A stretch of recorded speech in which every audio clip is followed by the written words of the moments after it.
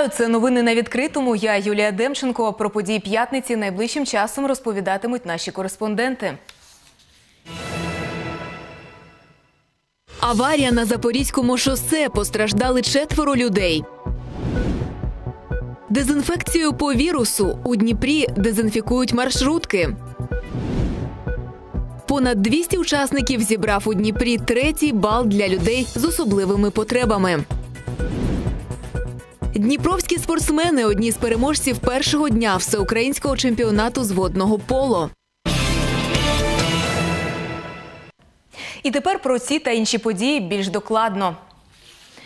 Дезінфекцію по вірусу у Дніпрі почали дезінфікувати маршрутки, а водіїв одягли в захисні маски. Мета запобігти розповсюдженню грипу та ГРВІ. 1200 маршруток міста дезінфікуватимуть щодня. Більше знає наша Олександра Філь. Проводим санобработку автобуса дезинфицирующим средством. В'ячеслав працює водієм вже 15 років. Каже, маску носить заради своєї ж безпеки, хоча це і незручно. Змінює її кожні дві години. Переконаний, дезінфекція транспорту запобігатиме поширенню інфекцій як серед водіїв, так і серед пасажирів. Велике кількість пасажирів перевозимо і заходять е, з різною хворобою. Це думаю, процентів я не знаю скільки. Ну дезінфекція своє бере. За дезінфекцію і пасажири говорять, не впевнені, що це допоможе, але зайвим точно не буде. Будь-яка профілактика це добре.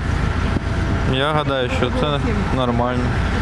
Що це потрібно, хай буде. Санітарну обробку щодня проходять понад 1200 автобусів. Такі запобіжні заходи для попередження поширення інфекції. Комплексно машину обробляють раз на добу, додатково між рейсами. На одне авто щодня витрачають майже 10 літрів дезінфікуючого розчину. Це порада епідеміологів, тобто на вибір там рекомендувалось е, обрати один з чотирьох засобів, якими обробляти. Кожне автопідприємство обирає самостійно, чи це будуть е, виконувати якісь сторонні спеціалісти, заключати договір на додаткову санобробку, або е, на деяких підприємствах є можливості власноруч це робити. Автобуси у Дніпрі посилено оброблятимуть до 19 лютого. Олександра Філь, Денис Крікус, News, телеканал відкритий.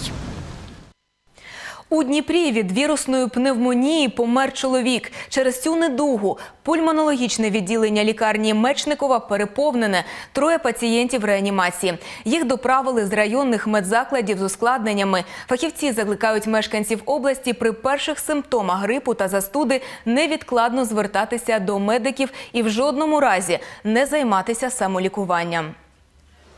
Юлія навіть не підозрювала, що опиниться у реанімації через грип. До медиків вона звернулася тільки но відчула не здужує. За кілька днів виявили пневмонію. Лікувалася жінка вдома, але стан тільки погіршувався і вже за тиждень опинилася в новомосковській лікарні. Звідти у важкому стані її перевезли до лікарні імені Мечникова. Там кілька днів боролися за життя пацієнтки і перемогли хворобу. Очень было плохо, очень сильно. Я с жизнью. Что было? Скажите, когда вы уже в реанимации? Температура очень высокая, до 40. Дышать не буду. Что самое страшное, это невозможно дышать.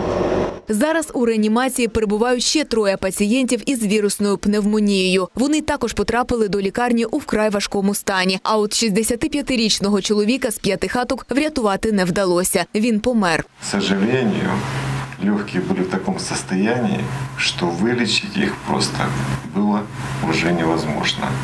Несмотря на то, что он принимал все высококлассные препараты, которые сегодня есть, тенденция была одна, он потихонечку терял иммунитет, Який саме вірус грипу провокує складну пневмонію, поки невідомо. Визначити це можна лише протягом перших трьох днів хвороби, кажуть в лікарні Мечникова. Пацієнти потрапляють до них після двох-трьох тижнів недуги. Вот если вы видите вот эти все белесоватые поражения, это все то, что съела пневмония.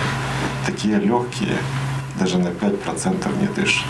Медики закликають мешканців області при перших симптомах грипу та застуди терміново звертатися до фахівців. Тільки тоді можна попередити ускладнення. Юлія Демченко, Олександр Вернігоров, Open News, телеканал відкритий.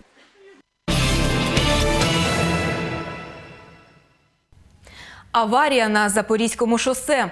Ушпиталили чотирьох постраждалих. Дорожньо-транспортна пригода сталася у півдні. Дорогу не поділили дві автівки. За попередньою інформацією поліції, що базується на даних очевидців, Део рухався вулицею генерала Пушкіна зас по Запорізькому шосе. Машини зіткнулися на перехресті. В обох автомобілях їхали подружжя. В них серйозні травми внутрішніх органів, черепно-мозкові ушкодження, переломи та садна. Усі деталі ДТП з'ясовують. 100 населених пунктів області знову зі світлом. Фахівці продовжують відновлювати енергетичну інфраструктуру Дніпропетровщини, що постраждала через негоду. За останню добу бригади енергетиків повернули електрику 35 тисячам жителів області. За графіком відновлення електропостачання можна слідкувати на сторінці енергетичної компанії у Фейсбук. Туди ж повідомляти і про аварії.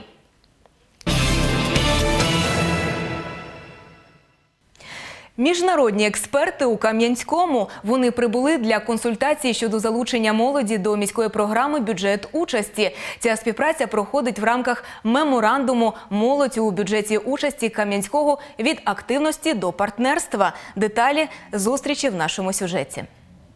Україна посідає четверту сходинку у рейтингу європейських країн, де успішно реалізується програма бюджет участі. Чималий внесок зробили у Кам'янське, кажуть експерти. Завдяки активному впровадженню програми місто обрали для співпраці з Радою Європи. Рада Европы поддерживает развитие демократии, значит, на Украине. И вот в рамках этого сотрудничества они поддерживают выполнение проекта и тут в городі. Чинниками для визначення майбутніх партнерів Ради Європи слугували вже наявні успіхи у реалізації програми бюджет участі та бажання міста і його керманичів співпрацювати. Основний критерій це готовність. Досвід, який вже є, і готовність міста до е, і бачення міста, як можна вдосконалювати довір, е, демократію і будувати довіру на місцевому рівні. От Кам'янське показало, що вона йде по цій дорозі, має досвід і має бажання продовжувати цей шлях О, Зокрема, от залучення молоді до цього процесу вже такий наступний крок. Бюджет участі програма, завдяки якій кам'янчани розробляють і втілюють власні проекти за бюджетні кошти. Цього року кількість учасників програми зросла в шестеро, а її фінансування збільшили майже до 4 мільйонів гривень. Активно занимаемся бюджетом участи с 2017 года. Если проанализировать эти проекты, которые подавались, то именно молодыми людьми подавалось примерно на уровне 25%.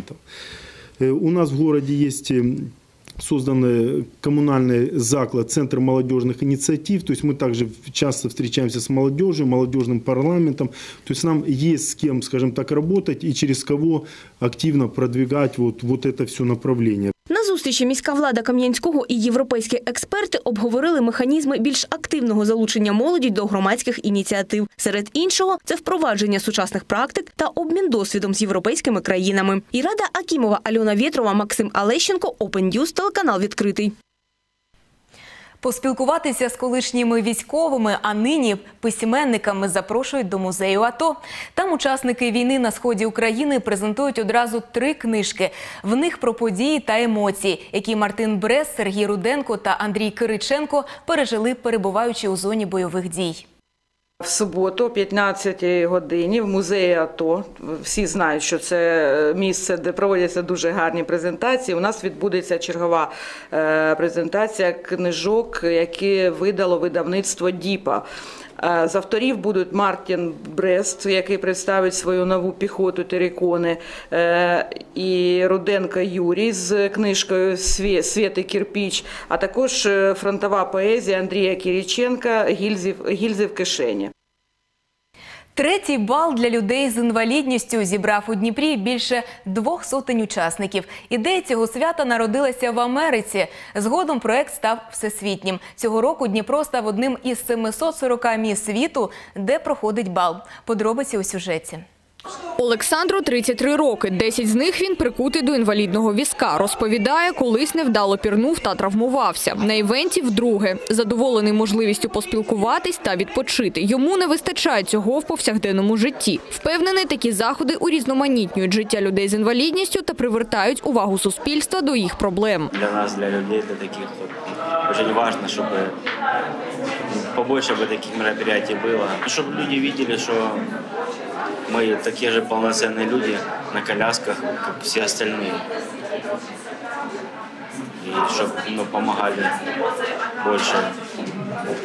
А то некоторые проходят, ну, внимания даже лишний раз и не помогут. Євгенії 28. Бал їй дуже подобається. Каже, це рідка можливість вийти в світ та вигуляти гарну сукню, бо в місті мало заходів для людей з особливими потребами. Я считаю, что люди с особенностями имеют право отмечать праздники так же, как и здоровые люди, ходить на светские вечеринки. Цьогоріч місто вже втретє долучилося до всесвітнього проєкту Бал для людей з інвалідністю. Організатори кажуть, це свято ковток свіжого повітря, можливість зав'язати нові знайомства, а іноді і створити сім'ю. С первого бала, который прошел, было две свадьбы.